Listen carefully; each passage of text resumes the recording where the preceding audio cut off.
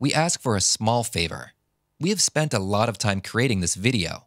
If you enjoy our work and would like to support us, please like this video and share it on social media. Also, do subscribe to our channel so you don't miss out on anything.